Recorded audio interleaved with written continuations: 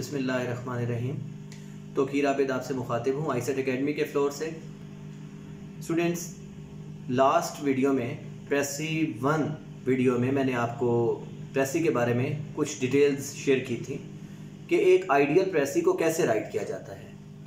آج ہم اسی چیز کو آگے لے کے چلیں گے اور آپ کو بہت ہی مفید معلومات دیں گے۔ یہ تمام معلومات اس سے پہلے کہ میں آپ سے شیئر کروں۔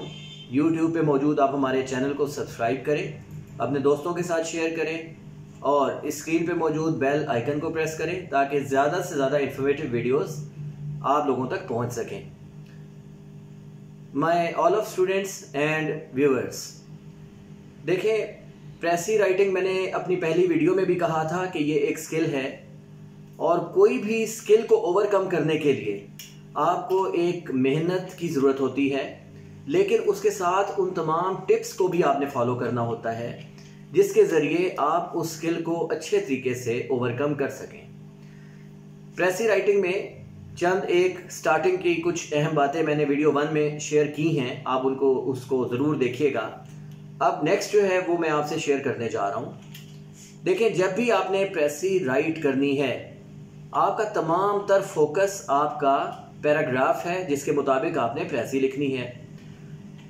آپ نے اس کے اندر ایک شدید بات کی کیئر کرنی ہے کہ تمام تر ڈائلاگس اور ایگزامپلز آپ اس میں سے اومٹ کر دیں۔ اگر اس پیراگراف میں کوئی ڈائلاگز ہیں، تو آپ ان کو انڈائریکٹ میں چینج کریں۔ اور اگر اس میں کسی قسم کی پیراگراف میں کوئی ایگزامپلز پائی جاتی ہیں، تو آپ ان کو کلیکٹیو ناؤن میں چینج کریں۔ دیکھیں، میں آپ کو تھوڑا سا اس کا بیک گراؤنڈ دیتا ہوں۔ ایک لائن وہاں پہ پیراگراف میں فار ایگزامپل لکھی ہوئی ہے کہ he was using bikes cars and jeeps in his life. تو اس کا مطلب یہ ہوا کہ وہ اپنی زندگی میں تین مختلف کنوینس یوز کرتا تھا۔ تو ان تینوں کا جو کلیکٹیو ناؤن ہے وہ ہے ویکلز تو آپ تین کی جگہ ایک ورڈ یہی ہے نا پریسی کا رول میں نے آپ کو بتایا تھا۔ کہ اگر 150 ورڈز ہوں تو آپ اس کو 50 ورڈ میں چینج کرتے ہیں. سملرلی یہاں پہ اگر ڈھیر ساری ایگزامپلز لکھی ہیں تو آپ ان کو کلیکٹیو ناؤن میں چینج کریں اور جیپس، کارز اور بائکس وغیرہ کا کلیکٹیو ناؤن ہوتا ہے ویکلز سملرلی اگر لوگوں کا ذکر ہے تو آپ وہاں پہ پیپل یوز کر لیں. اگر مختلف بچوں کے نام ہیں تو آپ اس کی جگہ کلاس فیلوز یوز کریں.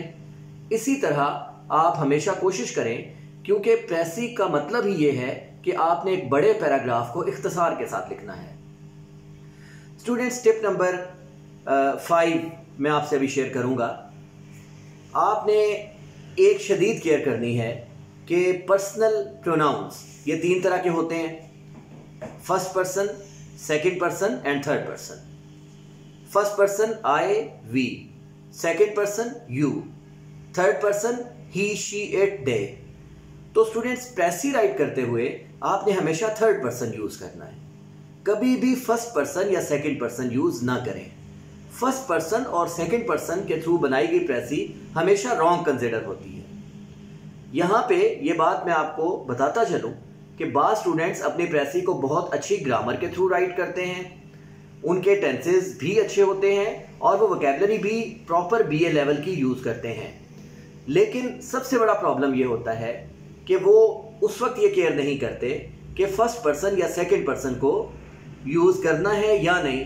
ان کو یہ آئیڈیا نہیں ہوتا کہ پریسی ہمیشہ تھرڈ پرسن میں یوز کی جاتی ہے۔ نیمز یوز نہیں کرتے فرسٹ پرسن اور سیکنڈ پرسن یوز نہیں کرتے، بلکہ ہمیشہ آپ تھرڈ پرسن مین ہی شی اٹ دے اور اسی کے پوزیسو فارم میں اور آبجیکٹو فارمز آپ یوز کریں while you are writing a precis students roll number six دیکھیں پریسی رائٹ کرتے ہوئے آپ ہمیشہ ایک اور بات کی شدید کیئر کریں گے۔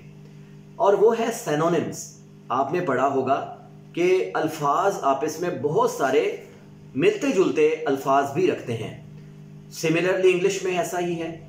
بہت سارے ایسے ورڈ ہیں جن کا آپ سملر فائنڈ کر سکتے ہیں۔ پریسی جب آپ نے لکھنی ہے تو آپ کے ذہن میں مشکل الفاظ کے سینونمز ہونے چاہیے۔ اگر آپ کے مائنڈ میں مشکل الفاظ کے سنونمز نہیں بھی ہیں، تب بھی آپ ایسا کر سکتے ہیں کہ اپنے مائنڈ میں دو ایسے ورڈز چنیں، جن کا مطلب سیم وہی ہو جو پیسے میں یوز کیے ہوئے ورڈ کا مطلب ہے۔ یہاں پہ بھی میں آپ کو ایگزامپل دے دیتا ہوں۔ یہاں پہ اس کی مثال کچھ ہم ایسے دیتے ہیں for example he belongs to an excellent class تو اب یہاں پہ ایکسلنٹ کا آپ سینونیم لکھیں گے، اس طرح آپ کا فرق بھی بڑھ جائے گا۔ اور رہیں گے بھی آپ ٹو دا پوائنٹ یعنی کہ ایکسلنٹ کی جگہ آپ ویری گڈ یوز کر سکتے ہیں. اسٹوڈینٹس یہاں پہ اس بات کو ہمیشہ مائنڈ میں رکھے پوائنٹ نمبر اور رول نمبر سیون میں ڈسکس کر رہا ہوں کہ اپنی پریسی کو ہمیشہ مختصر مگر سادہ لکھیں. پریسی میں کبھی بھی تنقید نہ کریں. پریسی میں کبھی بھی تبصرہ نہ کریں. مطلب اپنے ورڈز میں لکھنے کا مطلب یہاں پہ یہ ہوگا کہ اپنے ورڈز میں تو آپ نے لکھنا ہے. لیکن خود سے بنا کے نہیں لکھنا، اس میں کسی چیز کو اضافی ایڈ نہیں کرنا۔ اور رول نمبر آٹھ اس کا یہ ہے کہ جو آپ کوشچنز اٹیمپٹ کرتے ہیں پیراگراف کے مطابق جو آپ کوشچنز رائٹ کر رہے ہوتے ہیں، وہ ایک الگ چیپٹر ہے، جبکہ پریسی ایک الگ الگ چیپٹر ہے۔ ان کو کبھی بھی آپ اس میں مکس نہ کریں۔ کوشچن جو ہے وہ آپ ہمیشہ پیراگراف کے مطابق لکھتے ہیں۔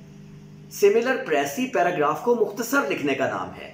کوشچن کی ورڈنگ آپ پیراگراف کے اندر سے فائنڈ آؤٹ کر کے وہی ورڈنگ یوز کر سکتے ہیں۔ لیکن پریسی میں آپ وہی ورڈنگ یوز نہیں کر سکتے۔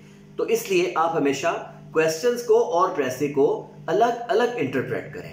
اسٹوڈینٹس پوائنٹ نمبر نائن اور رول نمبر نائن اور وہ یہ ہے کہ ورڈز کی جب آپ کیئر کر رہے ہوں تو اس وقت آپ کے ذہن میں ٹینس وہی ہونا چاہیے جو ٹینس آلریڈی پیراگراف میں یوز ہو چکا ہے۔ آپ دیکھیں پیراگراف میں جو ٹینس چل رہا ہے، آپ کی پریسی میں وہی ٹینس ہونا چاہیے۔ اگر پیراگراف پریزنٹ ٹینس میں ہے، تو آپ کی پریسی پریزنٹ ٹینس میں ہو۔ اگر پیراگراف پاس ٹینس میں ہے، تو آپ کی پریسی بھی پاس ٹینس میں ہونی چاہیے۔ اسٹوڈینٹس اگر پیراگراف فیوچر ٹینس میں ہے، تو آپ کی پریسی بھی فیوچر ٹینس میں ہونی چاہیے۔ پریسی سکل ایک اہم سکل ہے اور یہ پریکٹس مانگتی ہے۔ سو رول نمبر ٹین اس سلسلے میں یہاں پہ میں آپ کو واضح کروں گا۔ کہ جب ایک پریسی آپ رائٹ کر رہے ہوں تو آپ ہمیشہ اس کی پریکٹس کریں۔ میرا مطلب پیپر میں نہیں، میرا مطلب پیپر سے پہلے ہے کہ اگر آپ ایک پیراگراف رائٹ ایک لکھا ہوا ہے اور آپ اس کو پریسائز کرنے کی کوشش کر رہے ہیں، تو آپ ایک پیراگراف کو بہت دفعہ پریسائز کریں۔ اپنے آپ کو بہتر کریں۔ بہتر یہ ہوتا ہے، آپ اپنے ریلیونٹ ٹیچر سے کنسلٹ کریں۔ آپ ان کو اپنی پریسز چیک کروائیں اور ان سے ان کی مفید رائے لیں۔ وہ یقیناً آپ کو بہت ہی اچھا اپینین دیں گے۔ اور اس کے بعد آپ ان کو یہ لازمی بتائیں کہ اگر فور ٹو فائیو آپ نے پریسی لکھی ہیں، تو ان میں سے بہتر پریسی کون سی ہے؟ یاد رکھیں، آپ پریسی کی جتنی زیادہ اچھی پریکٹس کریں گے، اتنے زیادہ آپ کے اچھے ریزلٹس آئیں گے۔ اسٹوڈینٹس ہم اس کو سمپ کرتے ہیں اس ویڈیو کو اور آپ کو یہ بتاتے ہیں کہ ایک اچھی پریسی جب آپ رائٹ کرتے ہیں، تو ان میں آپ ان تمام رولز کو ضرور فالو کریں گے۔ اگر آپ نے ان میں سے کسی بھی رول کو فالو نہیں کیا تو آپ خاطر خواہ نتائج نہیں لے سکتے۔